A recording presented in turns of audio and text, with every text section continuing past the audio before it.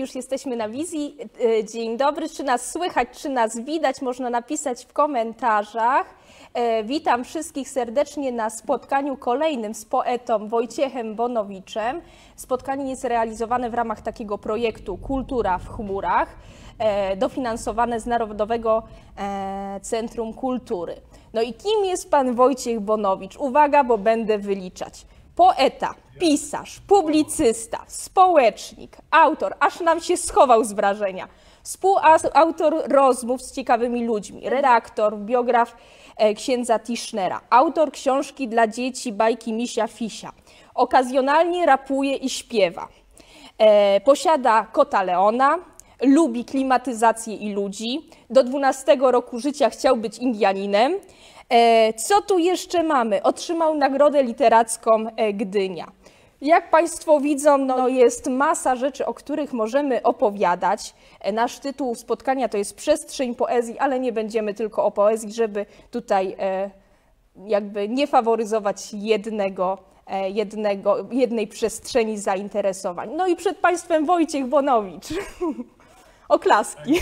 To ja jestem właśnie. Mniej więcej się wszystko zgadza, co Pan było powiedział. Mniej więcej? Co się nie zgadza? Dobrze, to zacznijmy od pierwszego pytania. Zarówno w Pana poezji, jak w dziennikach e, końca świata bardzo dużo jest odwołania do literatury, do poezji, do dzieł filozofów, do, do prozy. E, I tak teraz przekształcę e, tytuł książki profesora Ryszarda Koziołka. Czy dobrze się myśli, czy dobrze się patrzy na świat literaturą? No, wie pani, w zasadzie nigdy samą literaturą na świat nie patrzyłem. Nie? Tylko zawsze to było takie spojrzenie, w którym literatura była częścią różnych innych moich aktywności się swoje, te, te, znaczy nie, nie, jakby te, ta, ta, liczba przyjaciół jest po prostu mała, nie? Prawda? Ona maleje i to, to jest słabe. To, to, to, ja zawsze to tłumaczę, kiedy mam spotkania z młodzieżą w szkołach. Ja rozumiem, że możecie czuć taki czy inny opór wobec książek, które się wam proponuje, ale byłaby wielka szkoda, gdybyście tego nie spróbowali. Także gdybyście nie spróbowali jednego czy drugiego tomu poezji, bo może się okazać, nigdy nie wiadomo, ale może się okazać, że może wasze życie tam się gdzieś odbija, prawda? W czyimś tekście, czyjejś wrażliwości odbija się wasza własna wrażliwość. To, i, i, dlaczego tego nie spróbować? Nie? Ja jeszcze mam takie pytanie. Ja jestem fanką literatury czeskiej i mi największą radość sprawiło, że znalazłam odwołania e, w pana tomiku do e, twórczości Jiżiego Kolarza, Iwana Blatnego, no i oczywiście do niezastąpionego Hrawala, bo to pierwsze zdanie z Pana tak. dzienników końca świata. Proszę mi powiedzieć, e, lubi Pan czeską twórczość czeskich pisarzy? Wie Pani, lubię, ale nie w takim trybie, że, że koniecznie musi być mhm. czeskie, prawda? Bałem się, że mnie Pani zapyta, czy lubię Milana Kunderę na przykład prawda, wspomnianego Blatnego, Holana, Golarza, no wielu, wielu, wiele naprawdę nazwisk mógłbym wymienić. Zajferta, bardzo lubiłem i lubię poezję Zajferta, yy, choć zupełnie mhm. inne rzeczy robię tak. w poezji. Ale to jest jednak, jest tam coś takiego, co mnie bardzo pociąga, pewien rodzaj takiej prostoty, autentyzmu.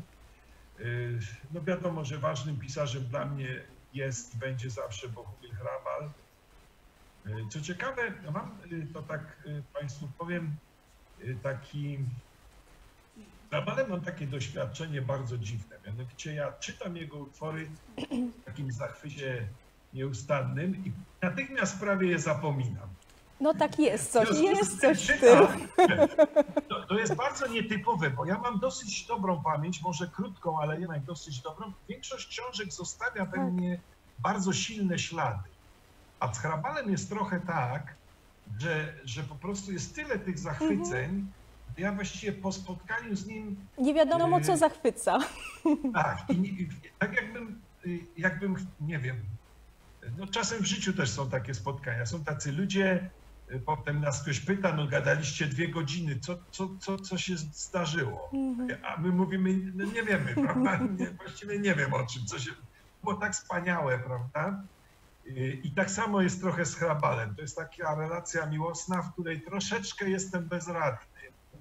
Oczywiście trochę przesadzam, ale nie do końca. Chcę Państwu powiedzieć o tym, że to nie jest tylko taki stosunek zwykły czytelnik, pisarz, czytelnik, który analizuje i pisarz, który proponuje to czy tamto, tylko tam jest, w tej relacji jest coś takiego yy, no, miłosnego po prostu, że ja się daję mu trochę uwieść.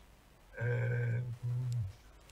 mm, Ja myślę, że nawet pan troszkę ma z tego hrabala w tej swojej twórczości, bo jak się czyta ten dziennik, to rzeczywiście jest e, jakby taka czułość w opisywaniu świata, e, zwracanie właśnie uwagi na te, te, te takie e, drobnostki, na tych drobnych ludzi, małych ludzi, więc ja tu czuję, czuję ten wpływ takiego, takiego hrabalowskiego umiłowania takiego prostego życia. Tak, tak. A ja bym bardzo chciał, żeby tak było, Pani Agnieszko.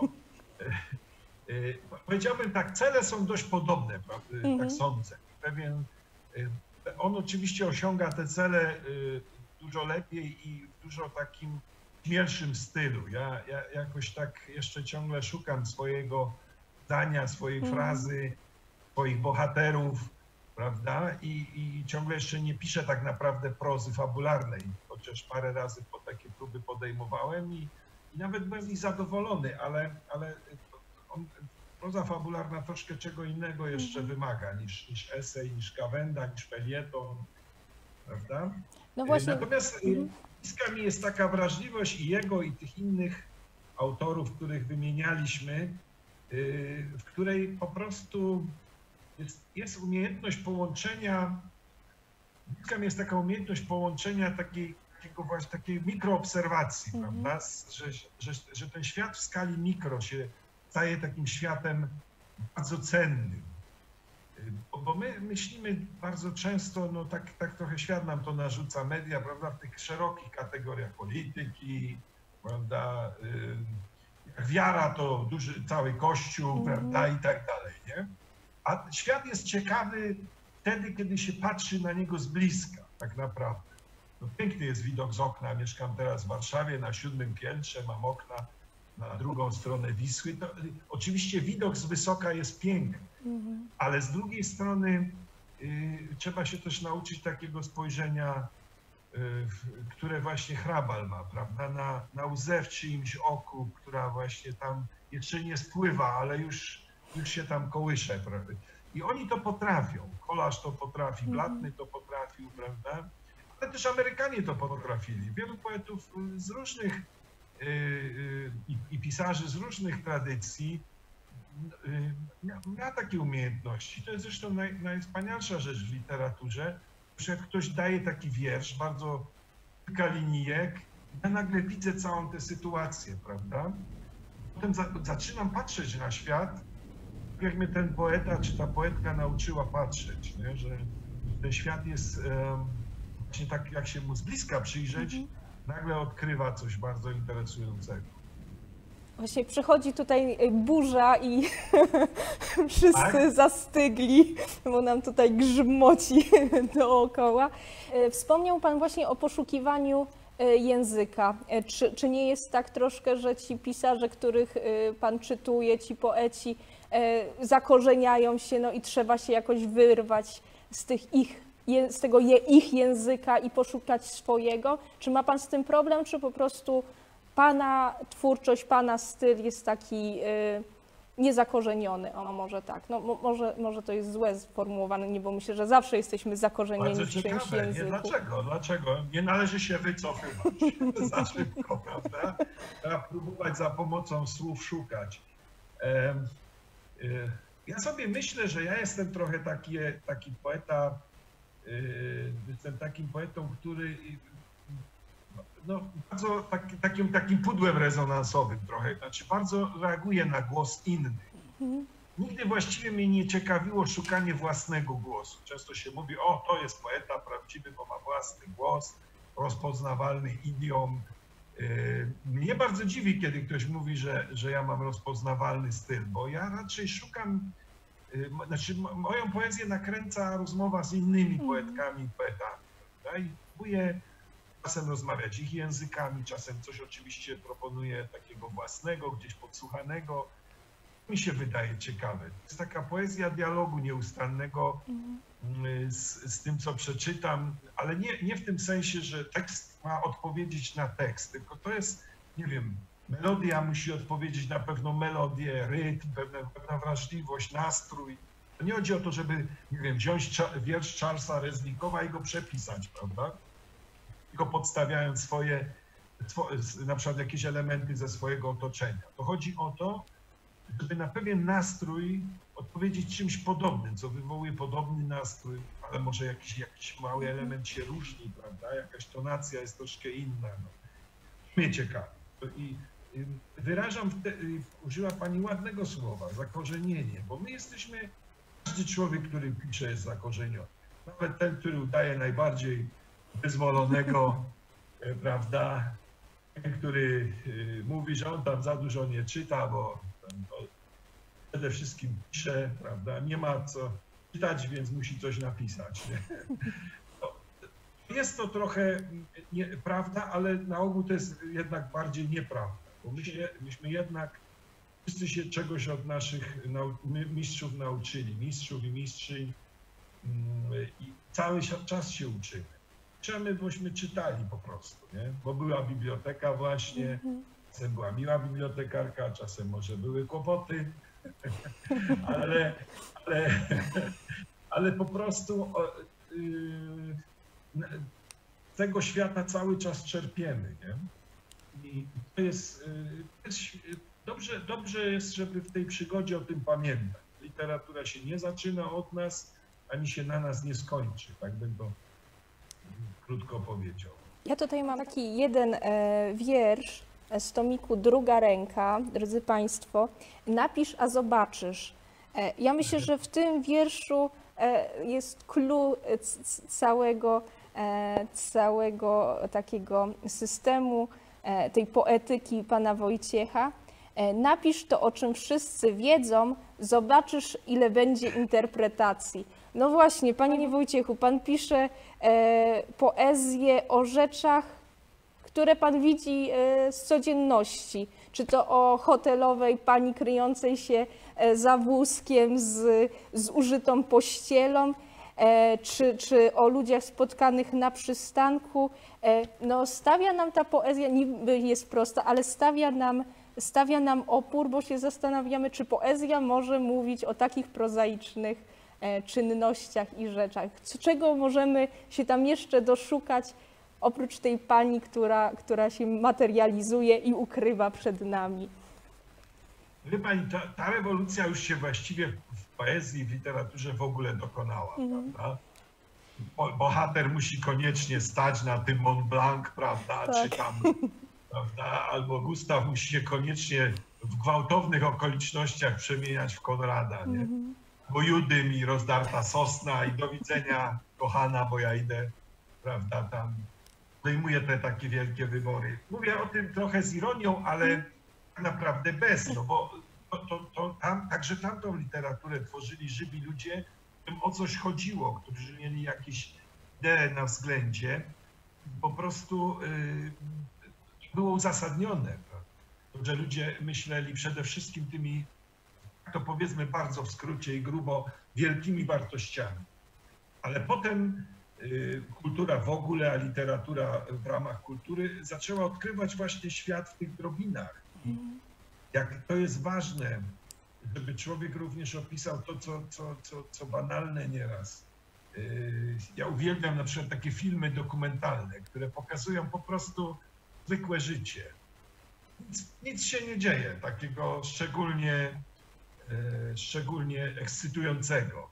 Taki film na przykład Kraina Miodu kilka lat temu powstał macedońskiej reżyserki, która opowiada o kobiecie opiekującej się swoją starszą matką, która ho- hoduje pszczoły w takich naturalnych warunkach w górach. Ten miód jest uzyskiwany zupełnie inaczej, nie w sposób taki producencki, tylko tylko jest po prostu to jest jej pasja, nie?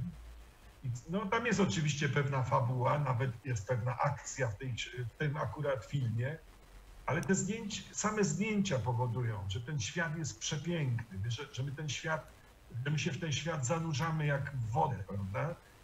Ja, ja do dzisiaj pamiętam y, twarz tej kobiety, kolor jej bluzki, światło we wnętrzu tego domu. To jest tak sugestywnie zrobione. Teraz myślimy sobie, że literatura też by tak może zrobić, nie? Że, że my nagle właśnie zobaczymy szkoło nas tak bardzo wyraźnie. I różnych powodów znowu tego literatura szuka. Miłosz tego szukał, na przykład Czesław Miłosz, bo uważał, że to jest, są takie objawienia, prawda, codzienności, epifanie, jeszcze tam przez to prześwituje pewnie jakaś metafizyczna treść. Nie? A, ale byli też poeci, którzy robili to z powodów, powiedziałbym tak w cudzysłowie, przyziemnych bardzo. Po prostu ten świat ich fascynował. To właśnie ta drobina jest fascynująca sama z siebie. Może za tym nie ma żadnej metafizyki, ale to nie przestaje być piękne, prawda? I to, to, to, jest, to jest to wielkie odkrycie literatury współczesnej, że ona, że ona może powstać w każdym miejscu, właściwie z każdego doświadczenia. Więcej, że ona się broni trochę przed tym, żeby takie pojedyncze doświadczenia, drobne doświadczenia były podporządkowane wielkim strukturom czy wielkim ideom. W ten sposób ona broni też każdego takiego pojedynczego życia. Było wyraźne na przykład w programie Poetów Nowej Fali. Pisali zgodnie z tym, to, to różnie bywało, to jest jakby inna dyskusja, ale że literatura staje w obronie pojedynczego istnienia, musi o tę pojedynczość zawalczyć. To było w programie poetów nowojorskich, którzy, którzy potem wpłynęli u nas na, na, na, na poezję mojego pokolenia, czyli pokolenia brulionu, prawda? Nieraz się tych brulionowców, może mnie niekoniecznie, ale innych starszych kolegów przedstawia jako takich brutalnych, yy, prawda, i, Mhm. i, prawda, takich, no to ten obraz życia tak brutalizują, banalizują trochę, ale za tym stoi po prostu taka, taka, a nie inna wrażliwość, no właśnie taka wrażliwość, która szuka w świecie inaczej, właśnie nie, nie, nie, nie, wchodzi w ten świat od razu z jakimś programem, z jakąś etykietą, e, tylko, tylko chce mu się przyjrzeć, czasem bardzo mocno z wewnętrznej perspektywy i to ja jest bardzo ważnym takim filtrem, a czasem właśnie tak ważne jest to, co na zewnątrz, nie? to, co mnie otacza. No mi się tak, Taki, wykład zrobiłem. mi się tak skojarzył właśnie ten tomik druga ręka z książeczką, książeczką, książką e, Szczeliny Istnienia. Właśnie tam też e, jakby operowanie tym, tym co, na co nie zwracamy codziennie uwagi, e, tymi takimi zjawiskami życia codziennego, takimi drobnostkami.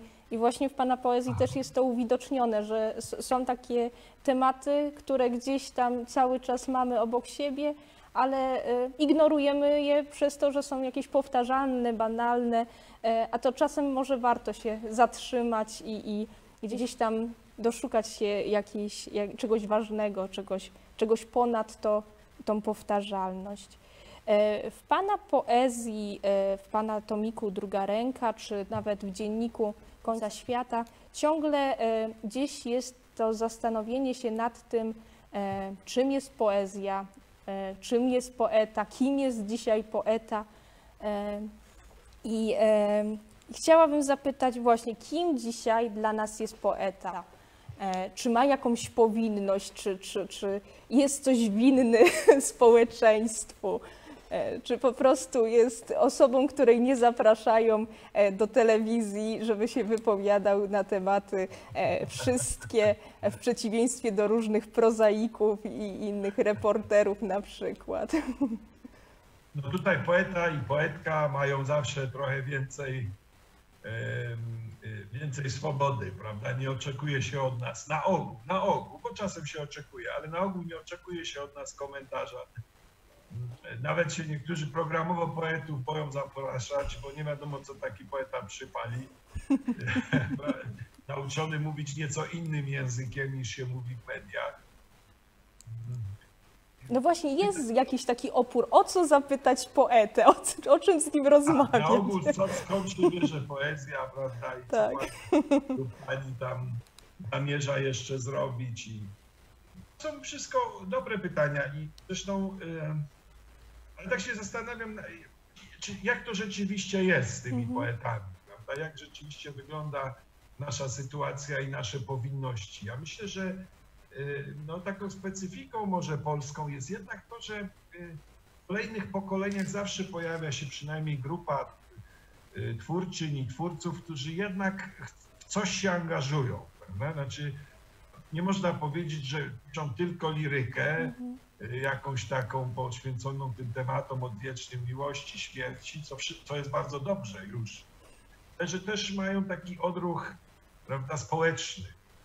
Y, Ja na przykład, kiedy mnie o to pytają y, i, pytają, dlaczego w wierszach się często pojawia, zwłaszcza w drugiej ręce, takie motywy, no, które wyraźnie mają jakiś charakter społeczny, że jest jakiś etyczny wymiar tej poezji. Ja się od tego nie uchylam. Mhm. Uważam, że, że poezja ma, że my dokonujemy wyborów etycznych po prostu. E, Jakiś, y, właśnie na przykład takiego wyboru, że, że zwracamy uwagę na pewną rzeczywistość ludzką, tę część, która jest marginalizowana. Nie? Literatura Hrabala jest literaturą etyczną bardzo. Mhm. Właśnie przez to, na czym ona skupia nasz, nasze spojrzenie, na sposobie, w jaki to, to robi. Nie? Na to, że właśnie jest przeniknięta bardzo mocno współczuciem na przykład. To myślę jest, y, jest, y, jest, jest sens, ogromny sens twórczości w ogóle i twórczości poetyckiej w szczególności, y, że ona jednak no, też jest taką propozycją innego języka. Nie tylko innego spojrzenia, ale tylko, także innego języka mówienia o rzeczywistości. Niestety y, język, który jest najłatwiej dostępny, czyli ten język telewizji, język internetu trochę, y, jest takim językiem, który wiele rzeczy traktuje bardzo powierzchownie. Trochę z konieczności, a trochę z wyrachowania, bo się skupia na pewnych takich rzeczach, które będą, no, będą wzbudzać, nie wiem, emocje, moc- sensacje, wytwarza swoje mody i tak dalej. Co prosto też opisuje Mhm. świat, prosto go dzieli, bo to jest bardzo łatwo się taki świat opisuje, który jest prosto ponazywany. No a poetki, poeci jednak komplikują. Prawda? Znaczy istotą literatury w ogóle jest to, żeby obraz świata się komplikował. I nieraz po prostu z, z, naj, z najgłębszego piekła pisarze potrafią wyprowadzić przepiękną literaturę. Czytam jeszcze raz ostatnio na przykład Huśtawkę oddechu Herty Miller. Y, To jest książka o życiu w obozie koncentracyjnym. Po wojnie w Rosji Niemie, Niemcy zostają wywiezieni z Rumunii do obozu koncentracyjnego, prawda? Wśród nich jest bohater książki, który jest gejem, y, a więc musi jeszcze w tym obozie dodatkowo jakby uważać, bo, bo, bo y, jest, gdyby przypadkiem rozpoznano, jest to, czekałoby czekałaby go szybko okrutna śmierć. Więc on próbuje jakoś przetrwać i to, co go opisuje, opisuje ta powieść, jest, jest, jest straszliwe. E, ten język jest wstrząsająco piękny. Wstrząsająco piękny. To jest nieprawdopodobne, co można wyprowadzić z takiego doświadczenia. Ale mówiąc, wstrząsające jest to, jak dobre są niektóre opowiadania Tadeusza Borowskiego. Mhm. Nie? I tak dalej, i tak dalej. A więc literatura ma jakieś takie tajemnicze sposoby, y, które pozwalają nawet o rzeczywistości strasznej mówić w taki sposób, że ona w jakimś sensie przez, jest trochę mniej straszna. Albo źle powiedziałem. Ona jest jakoś dla, przekazywalna, przyswajalna. Coś tam coś próbujemy. Nawet, że, nas, że sam tekst, który o tym opowiada, może jakoś nas uwieść, nie? No właśnie to jest niesamowite w literaturze, że jakby potrafi wygładzić te e, takie ostre krawędzie e, i nawet to, co, co jest złego przedstawić. Y, Słowo wygładzić pani Agnieszko jest dobre, nie? Bo to nas boli, jak czytamy. Mhm, tak. prawda? Te krawędzie się nas bijają. Ja y, chorowałem Borowskiego jako młody czytelnik a potem wielokrotnie do niego wracałem do tej, i żeby jeszcze raz przechodzić tę chorobę. Yy, Prawdę mówiąc, nie trzeba szukać u Borowskiego, wystarczy wiersz, wiersze Różewicza Młodego, prawda, i tak dalej. To są wiersze, które wbijają się jak, jak gwoździe w człowieka, ale z drugiej strony, no, no, jest ta potęga formy w ogóle, nie tylko pisarskiej, także malarskiej, filmowej. Najwięksi twórcy to właśnie mają, że biorą to straszne, jakby za pomocą tej formy, nie, nie, nie, nie, po, nie pozbawiając tego, co straszne, no, no, tych elementów, yy, prawda, zła i tak dalej, coś jeszcze robią takiego, że my czujemy, że to zło nie, nie, niekoniecznie ma ostatnie słowo. Bym tak trochę nawet religijnie to powiedział, że słowo zła nie jest ostatnim słowem. Ostatnie słowo należy do nas. Ale o, i, i, i to jest słowo, nie wiem, jakiejś nadziei, którą daje piękno. Wiem. Y, Hrabal pisze o tym zresztą w Dzienniku Końca Świata. W genialny sposób opisuje na przykład smutek ludzi biednych. Nie? I ludzi, których, którzy nikogo nic nie obchodzą. On ich opisuje tak, oni się stają wielkimi bohaterami świata. Nie? Znaczy każdy tych panów, których tam oglądałem wczoraj na, na debacie, z pięć minut, bo potem wyłączyłem, bo tam z literaturą to nie miało wiele wspólnego, prawda, z tych kandydatów, nawet niektórzy fajni, ale e, to, to inna sprawa, nie? Każdy by marzył, żeby znalazł się taki hrabal i wydobył z nich nagle trochę piękno a nie tylko tej estetyki takiej, prawda, wystudiowanej, że trzeba się tak ubrać, albo e, że tak. trzeba powiedzieć to, bo prawda, i cały sztab tam siedzi i rozmyśla, nie? E, A ci ludzie, których hrabal obserwował w całej biedzie i poniżeniu, byli może bardziej wolni niż nie jeden z nich, nie? A hrabal, żeby to docenić i żeby to pokazać, szukał takiej literatury, któ- która tę wolność będzie potrafiła nazwać, nie? To, to jest dla mnie takie wzruszające, że, że, że to możemy to zrobić. My jako pisarze, pisarki możemy to zrobić. To się tak zniośle nazywa oddać sprawiedliwość widzianemu światu. Ja jestem trochę taki ostrożny, chyba, y, y, ale, ale coś jest w tym określeniu. Nie? My oddajemy, może nie wymierzamy właśnie, tylko oddajemy temu światu to, co jest jego. Naprawdę piękna wokół jest mnóstwo. Pani, to nie trzeba nigdzie wyjeżdżać. To wystarczy się przejść ulicą w Warszawie. Teraz jestem akurat. Nawet można nie wychodzić z pokoju. Ważne, żeby do ciebie ktoś przyszedł. Jest pięknie. E, Piękna jest naprawdę mnóstwo, tylko my po prostu nie, nie patrzymy jak należy. I tego nas literatura próbuje nauczyć. Nauczyć właśnie. Drodzy Państwo, właśnie tak e, zawłaszczyłam sobie Pana Wojciecha, ale e, ja e, przypominam, że można zadawać pytania. Ja tu mam koleżanki, które będą mi je na bieżąco przysłać i o, widzę właśnie Pani Marcelina pisze, niewątpliwie wielką wrażliwość poetycką ma w sobie poezja Krystyny Miłobęckiej, czy jej poetykę odnajdziemy też w twórczości młodych poetek. Jakie ma Pan zdanie na temat minimaliz minimalizmu poetyckiego i czy, ogranic czy ogranicza, czy poszerza wyobraźnię odbiorcy? To pytanie takie rozbudowane Pani Bardzo Marcelino. ciekawe, bardzo dziękuję. Bardzo dobre, bardzo ciekawe pytanie. Y, Nadawałoby się na dłuższy wykład, a tu trzeba trochę minimalizmu. Y, A najciekawsze jest to sformułowanie, którego pani użyła, pani Marcelino. To znaczy, że może się zdarzyć, że właśnie minimalizm poszerza, prawda? Znaczy, y, poeci odkryli, poezja odkryła, że ten program mniej słów jest dobry program. To znaczy, że po prostu czasem za pomocą większej kondensacji my osiągamy lepszy efekt niż wtedy, kiedy właśnie tych słów namnożymy nie wiadomo ile. I y, poezja Krystyny Miłobęckiej jest na pewno na takim ekstremum jego oszczędności, powściągliwości, zwłaszcza poezja z ostatnich y, lat, no, ostatnich dziesięciu czy kilkunastu lat. Mam takie wspomnienie z Krystyną Miłobęcką, chyba je opisałem nawet w dzienniku, ale może warto je przywołać. Przyszedłem do niej z tym tomikiem, druga ręka. Ja się też uważam za minimalistę i za jej ucznia. No i tak wręczyłem, znaczy wysłałem to wcześniej, no i potem przyszedłem w odwiedziny. Ona widzę, że ma pozaznaczane tam wiersze, które jej się podobały, ale mówi, panie Wojtku, no te świetne, te świetne, ale tak w ogóle, ale tak w ogóle za dużo słów, za dużo słów.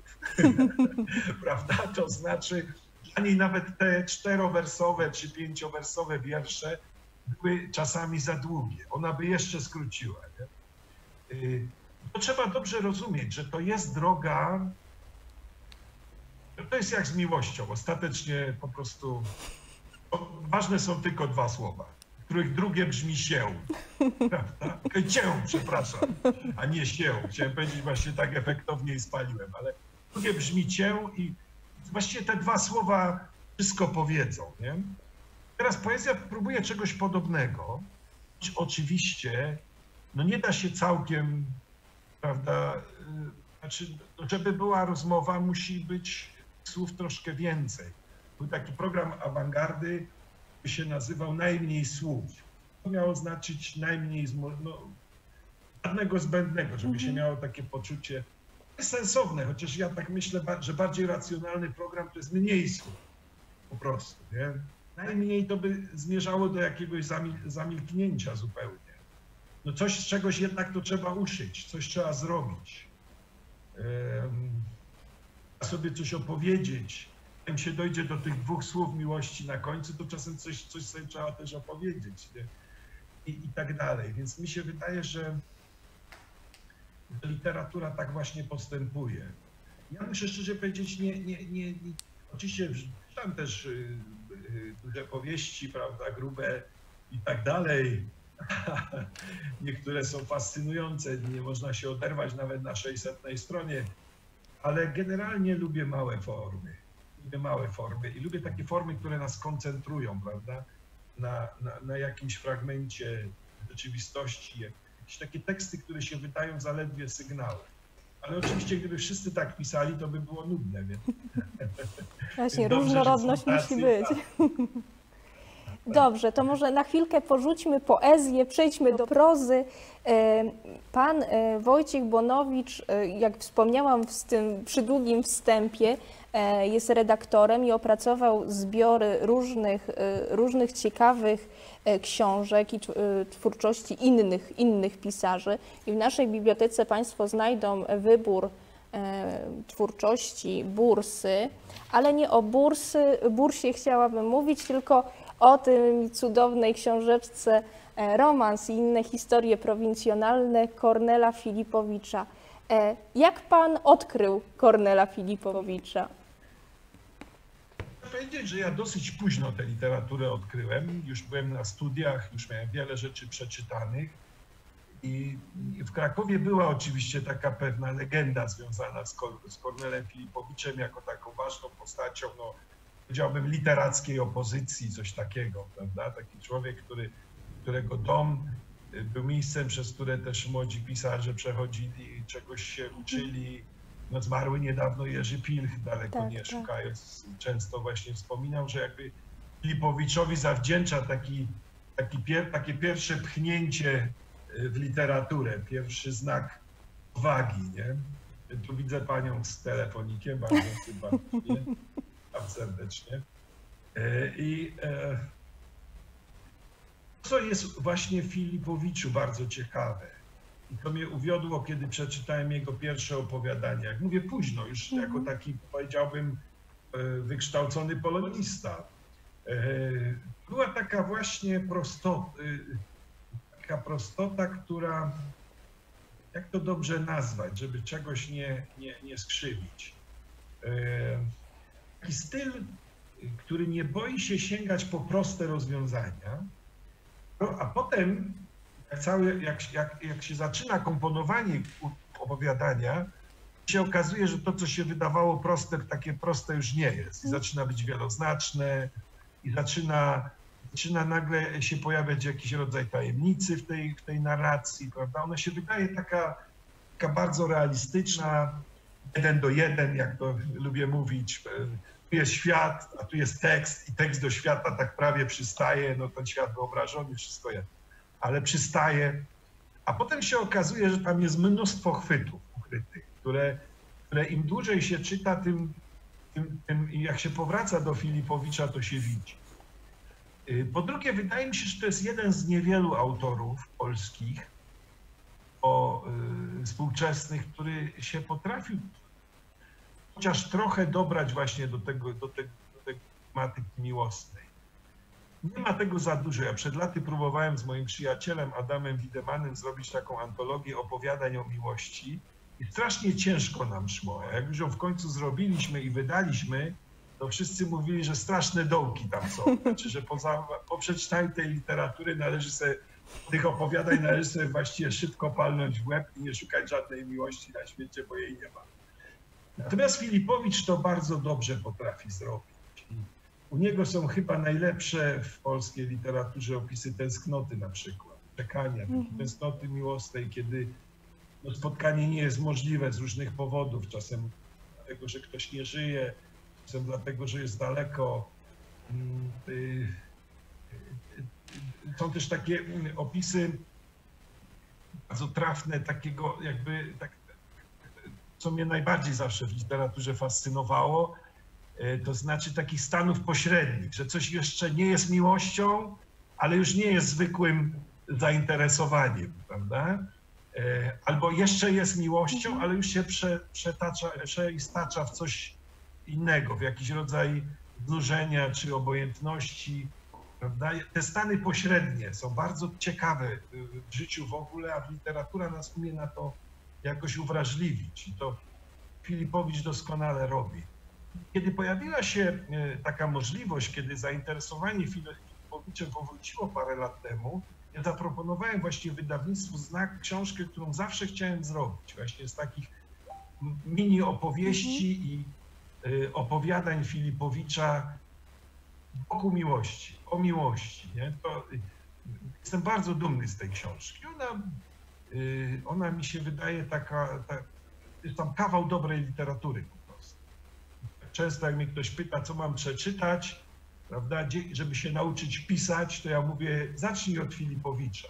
Możesz przeczytać to, co ja wybrałem, możesz przeczytać taki wybór, który zrobiła Justyna Sobolewska y, jeszcze wcześniej, prawda? Możesz wybrać sobie którąś z jego książek, raczej opowiadania bardziej niż powieści ewentualnie te krótkie powieści, bo tam się więcej możesz nauczyć dobrego warsztatu.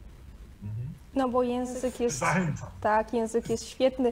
Ja Kornela Filipowicza y, odkryłam dopiero w momencie, kiedy odwiedziłam Cieszyn i tam powstała, teraz będzie lokowanie y, produktu. Powstała świetna kawiarnia, księgarnia i antykwariat Kornel i przyjaciele. Y, I to jest miejsce z takim klimatem i tam widać rzeczywiście E, miłość właścicielki do twórczości i, i do spuścizny Kornela tak. Filipowicza. I tak? Czy nas słychać już? Dalej nas nie słychać. Moment. Moment na streamie. Niestety. Nowy, nowy mhm. Jesteśmy. Jesteśmy? Słychać? Słychać. Dobrze, super, że wróciliśmy. Mamy jeszcze 10 minut, więc e, zaczniemy tak. od Tischnera znowu, czyli drugi no raz to samo pytanie. Nie pamiętam na czym pan skończył, więc może od początku. Dlaczego się rozrósł tak ten Tischner? Tak, no myśmy y, y, jakby dotknęli tematu tylko i, i, i nas rozłączyło. No ja przez 20 ostatnich lat y, spędziłem z Tischnerem, z, z jego archiwaliami, z jego mhm. książkami, z ludźmi, którzy go znali bardzo dużo czasu no, było nieuchronne, że ta wiedza, którą zgromadziłem przez te, przez te lata, no, no jakoś te, bo tę wiedzę trzeba spożytkować, prawda? Ta, ta książka, którą napisałem 19, 20 lat temu, a 19 lat temu się ukazała, no to była książka pisana jednak w pośpiechu. Bardzo szybko zbierałem materiały y, pod koniec jego życia i potem, kiedy zmarł.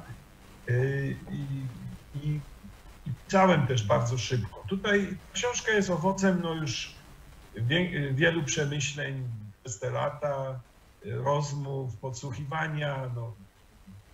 Myślę, jest w dużej części znaczy jest ważną częścią mojego życia po prostu. Ja pracuję jako archiwista, który się Mhm. opiekuje y, jego spuścizną, redaktor książek złożonych z jego tekstów.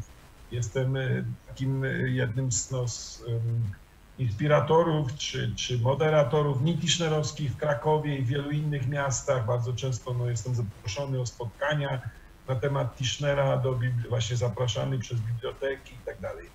Więc Tischner jest takim obszarem, na którym ja po prostu no, spędzam sporo czasu. Trudno byłoby teraz, kiedy przypada 20. rocznica jego śmierci, jakoś to ominąć. Tym Bardziej, i może o tym warto powiedzieć, że widać, że jest to postać, na którą wiele osób tęskni. I to jest ciekawe, zaczynają za nim tęsknić ci, którzy go nie znali. To znaczy ludzie młodszych pokoleń, dla których on jest tylko jakąś postacią z telewizji, wspomnienia rodziców. Ale jest intrygujący, bo zapamiętano go jako intrygującego. Takiego księdza, do którego nie było wątpliwości, że był księdzem w każdym calu, ale równocześnie był jakoś inny, prawda? Jakiś Mhm. taki nieksiężowski, nie w tym sensie, że miał porozpinane wszystko, prawda, i bez koloratki, tylko w tym sensie, że mówił innym językiem po prostu, o swoim doświadczeniu religijnym, o tym, czym jest Kościół. Jest jeden z powodów zainteresowania, ale jest wiele innych. Bo Tischner uosabia taką nadzieję, którą chyba wielu z nas ciągle ma. Na przykład nadzieję na to, że ta wspólnota da się skleić, Polska, prawda? Że, że przy wszystkich różnicach, jakby przyszło co do czego, to też się ujawni jakiś głębszy poziom, na którym ludzie jednak się porozumieją. Ja muszę powiedzieć, że na przykład jak obserwuję to, co się dzieje w czasie epidemii, to teraz mamy taki okres trochę szaleństwa, prawda, że ludziom, ludzie trochę się wyszli z więzienia i chcą, prawda, troszeczkę zażyć wolności, ale to było dla mnie niesamowite doświadczenie, że tak wielu ludzi się podporządkowało jednak dosyć, e, no dosyć e, surowym restrykcjom i że to właściwie jakby z dnia na dzień się dokonało. To tych, tych łamiących y, reguły nie było tak wiele. Nawet widzimy, że niepotrzebnie niektórych ścigano mandatami, bo, bo to pewna przesada. O czym to świadczy? To świadczy o tym, że ludzie potrafią być dojrzali. Może czasem to, to jest spowodowane strachem przed karą i tak dalej, ale mnie się wydaje, że to, że ten Tischner jest tutaj, jest tutaj dobrym, dobrym znakiem dla ludzi, po prostu, dobrym znakiem, takim znakiem, który pokazuje, że, ta wspólnota mogłaby wyglądać inaczej, demokracja w Polsce mogłaby wyglądać inaczej, język debaty publicznej mógł inaczej wyglądać, no właśnie nie takie marionetki będą występować i każda jedna z minutę ma zatańczyć, prawda? Jeszcze jej może przerwą, jak będzie nie tak tańczyć, tylko że możemy naprawdę się poważnie traktować jako, jako ludzie różnych poglądów, z różnych stron przychodzący, różnych, mający różne światopoglądy, yy, w różne rzeczy wierzący i tak dalej. I to yy, jest nadzieja, którą my musimy zachować, bo jeśli ją stracimy, to stracimy wraz z nią i ochotę na demokrację. A jak stracimy ochotę na demokrację, to się zaczną rzeczy, które się stały już w Europie. I one naprawdę nie były dobre. Jak ja słyszę dzisiaj takie głosy, nie za częste na szczęście, ale słyszę je, że silna władza jest potrzebna, prawda? Taki, nawet taki miękki autorytaryzm to by się przydał, nie? Cholery z tą demokracją. Ktoś nawet publicznie powiedział, już nie chcę po nazwisku wskazywać, a skończmy z tymi prawami człowieka i z tą równością. Nie? Jak my odpuścimy i zrezygnujemy z tej nadziei, y, naprawdę y, możemy się znaleźć w poważnych kłopotach. Y, Europa już raz się normalnie nie zabiła o, o właśnie z powodu takiego myślenia, nie popełniła po prostu zbiorowego samobójstwa. Więc to, to trzeba ratować, trzeba tego bronić. Hiszler jest tu dobrym takim argumentem, że dlatego, że nie był agresywny na przykład. On był ostry, był krytyczny, ale nie był agresywny. Jego celem nie było zniszczyć tych, którzy myślą inaczej. Jego celem było pokazać klarownie, o co, o co mu chodzi, co jest, jego co jest dla niego ważne. Zostawiłam sobie na koniec e, dziennik, dziennik e, końca świata, mój ulubiony. E, proszę zobaczyć, mam tu tyle fiszek, a zostało nam raptem 5 minut o wszystkim nie Możemy powiemy. trochę przewalić, bo była przerwa. Możemy troszeczkę, mo, możemy. E, w jednym z wierszy pisze pan w wierszu Odżywianie, że w dziennikach poetów trudno znaleźć wyznania w rodzaju dziś rano gotowałem parówki. U pana znajdziemy historię z grillowaną kiełbasą. czy, To czy bardzo właśnie, przepraszam, no ale czyli chciał pan, y, z- właśnie to jest taka mocna antyteza do pana wiersza. Y, opowie pan tą historię, bo ona jest bardzo zabawna. Więc ten dziennik ale właśnie z tą kiełbasą? o kiełbasie. I właśnie No, to jest taka historia trochę y, futurystyczna, prawda? To znaczy ona mnie, bardzo zafascynowała i takie informacje, które się pojawiły jakiś czas temu. Yy, zebrał je w jednej książce Ray, e, e, Kurzweil, którego bardzo interesuje, jakie będą konsekwencje tych badań, które dzisiaj już są zaawansowane. Nie? Na przykład jedną z konsekwencji może być, być może, być może, mówię, określam to, e, coś takiego, że będziemy mogli mieć takie na przykład plastry naklejane na ciało. Będziemy konsumować ile, ile się da. A te plastry będą z, y, z organizmu wyciągać to, co jest mu niepotrzebne, a zostawiać tylko to, co, co, co, co się przydaje. Będą e, wy, wy, wy, wyciągać wszelkie toksyny. Nie? Bardzo ciekawa wizja, to znaczy taka wizja, że będzie nareszcie wszystko wolno prawda? I człowiek będzie mógł być konsumentem, a nie będzie tył, nie będzie miał problemów ze zdrowiem i tak dalej, i tak dalej. Ona jest przerażająca trochę, bo, bo wtedy okazuje się, że bo to jest taka wizja, która właściwie prowadziłaby do czego? Do jakiejś takiej wielkiej nieodpowiedzialności, nie? E, Jednak to jest y, dobre, że my trochę wyrzutów w sumie na, nad tym grillem mamy. To znaczy, że nie, po prostu nie, nie wiemy dobrze, że gdyby ich nie było, to społeczeństwo byłoby dzisiaj w dużo gorszym stanie. Bo każdy z nas jest w stanie skonsumować więcej i ciągle więcej. No i teraz dobrze by było, żeby się, zamiast jakoś sztucznie to kontrolować, jednak wykształcić w sobie rodzaj takiego, e, takiej odpowiedzialności. Ale kto wie, może nie ma innego sposobu, nie? Dla człowieka. Bo jest to, ten grill tam jest rzeczywiście jako taki przykład pewnej, pewnej futurystyki. Jest jeszcze daleka przeszło, przyszłość, daleka przyszłość. Mamy w tej chwili inne problemy nie? Do, do rozwiązania. Tolino, wiele osób mnie pyta w takim trybie, no pan ten dziennik końca świata opublikował, co dopiero w ubiegłym roku. Co pan już przeczuwał, co się stanie? Ale y, oczywiście w książce, jak pani wie, nie chodzi zupełnie o tak, taką o czy coś inną zupełnie katastrofę, innego. Mhm. która przyjdzie z zewnątrz. Powiedzmy sobie szczerze, pandemia, jakkolwiek by nas nie przerażała, niektórych z nas, nie jest koniec świata. To nie jest żadna katastrofa tak naprawdę w porównaniu z tym, co, co, co, co ludzkość już przeżywała. Ale y, jest to no, przykre dla tych, którzy tego doświadczają, którzy stracili bliskich, to jest oczywiste, nie? Ale, ale powiedzmy sobie szczerze, ani liczby nie są tak straszne, jak, jak bywało w historii, ale my nie jesteśmy tak całkiem bezradni. Wiemy już troszkę, jak się bronić i jak się izolować przynajmniej i jak to ograniczać.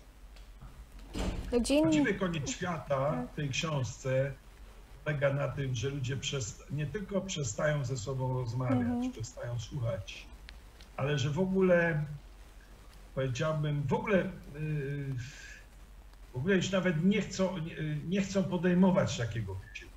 Nie?